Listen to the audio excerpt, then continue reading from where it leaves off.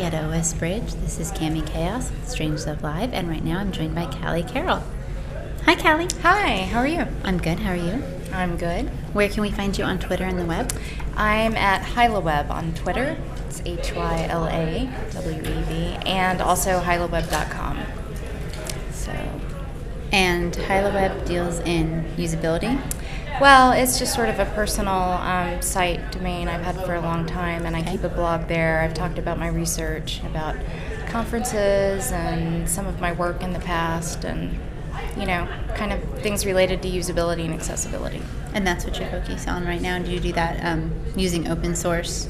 I do, and I have actually um, studied sort of accessibility and open source projects in particular, like MediaWiki, Mhm. and I've done all kinds of open source development myself, PHP, MySQL, um, long time ago, you know, like Perl and and uh, big time Unix user, and um, but in general, I've kind of shifted my focus from web development to uh, usability and accessibility, sort of in specific. So, what is cool about accessibility?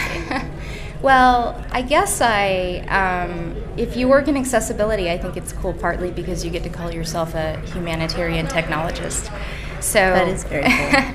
so you're kind of a user advocate in general, but I think what's cool about it is, is when you explain to someone like um, how when you do accessibility work, you're helping make interfaces work better for all sorts of people. Mhm. Um, then I think when they finally get it and they go, aha, then that's then that's pretty neat about it. But the uh, so in general, like if I say, oh, it's not just for uh, making sure that people who are blind or low vision, visually impaired, can use an interface or use something like an iPod or iTunes or um, you know Wikipedia, something like that. It's kind of for everybody. It's for anybody who might wear bi- bifocals or have uh, repetitive stress, you know, carpal tunnel, and or if you're just tired and can't think straight and don't want to see see anything and use a screen reader. So it's kind of like, uh, you know, the, it's doing the good things with technology that help people rather than having to make them adapt to the technology. Having the technology adapt for them. Yes. So you have uh, on the card here what people really think that you do when you start explaining. What do people think you do? Well, I think I had to explain to some relatives once. They kind of asked me, they're like, "Why are you in school again? I thought you graduated from college." And I'm like, "Yeah, well, I'm doing some research, grad school." And and so they asked me what I did, and rather than saying, "Oh, I'm studying mobile device usage by persons with visual impairments," or "I work in assistive technology," I said, thought about it for a while, and I said, I help blind people use computers. Because that was like the simplest thing I could think. And of course, their reaction was, Oh, can you help blind people shoot a gun? um, these relatives are from, uh, let's just not say the Northwest. Uh-huh. And I am. You know, rural area somewhere, you might think. But they, uh, and I was sort of dumbfounded. And then I learned something from them, which was, uh, oh, well, you know, you can go on the internet now and you can do hunting on the internet where you aim the gun and shoot through the webcam and then they'll mail you whatever you killed. And I thought, wow, I did not know this before. And it's kind of like that David Sedaris bit where he talks about how, like, uh, the blind can legally hunt in Michigan, but then how do they find what they killed and then do they drive themselves home? I am, I am, I am baffled and amazed. So, So, and you have great shoes on. Which Oh, is thanks. Neither here nor there, but I just saw them, so sorry. So a lot of it is kind of about uh, awareness and social issues of like, oh well, you know, people that are blind or have have a disability, like they want to do the same things that everyone else wants to do. but to be clear, you do not help No, blind people I, I don't have anything to do with firearms really, but I, um, you know, iPods are kind of more my thing, and Uh-huh. open source software, and uh, you know, stuff like that. But yeah, no, no guns for me. So if you're trying to think about hiring me, I'm not going to work on your gun project. I'm sorry. It's good to know. All the blind gun dealers out there. Let's just cross Yeah. Callie and, and list I think potential. I think David Sedaris might have said, or maybe it was my relatives. Who know? It's you know, it's so hard to tell that the uh, that the, uh, the truth versus fiction uh, Which is stranger, If it's you, always true. If you live in some states, you know, you can actually hunt from your car if you have some, uh, you know, mobility issues. So. Having grown up in Texas, these things don't surprise me nearly as much as the hunting on the internet. Oh, did I mention that these people are from Texarkana?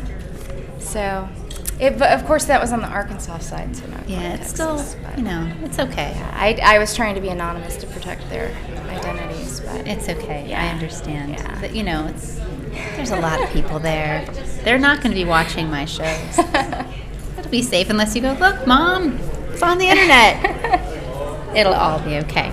Um, so what's I can't tell if he's laughing at me or it's the guns. I think that gets people. it. Well, golly, really, just hunting on the internet. I mean, the little, the little duck shoot thing that you do for pretend, the little video game.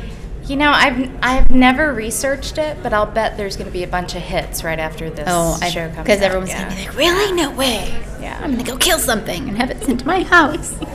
I won't be doing that. It's not really my thing. I'm kind of more duck hunt, I guess. You know? Yeah, exactly. Pizza Hut, 1988 or something. Mm-hmm. So Get the big all.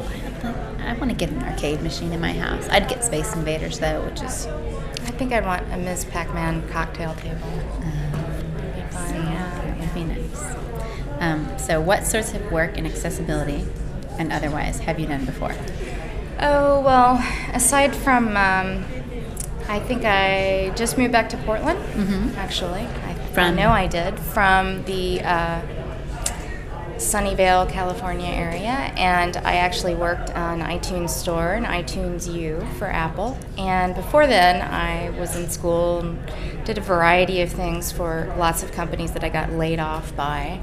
You know, Seems to be sweeping the nation. thing. Yeah, yeah, yeah. I've been doing it for ten years, being laid off by companies. But the, uh, but I've also done some pretty cool things while you know trying to freelance and, and stuff. Like uh, I worked in a violin shop for a long time, and I uh, volunteered and was pretty involved in the um, dart poison frog husbandry. Uh, community. I still am. Frognet.org is our big site. Frognet.org. Yeah, frognet.org. And Poison dart frog Yeah, at the Atlanta. Botanical Garden. They're just you know really fascinating. And I also uh, I worked in a Japanese hostess club in Atlanta. Uh, 1996, so the summer of the Olympics. So I've done some interesting cultural things too. A varied and interesting. Not related to guns though, or No. even accessibility. I, I, there's a Yeah. theme that it's not related to guns. Yeah, yeah. So, you working also? Are you working with John and the others on?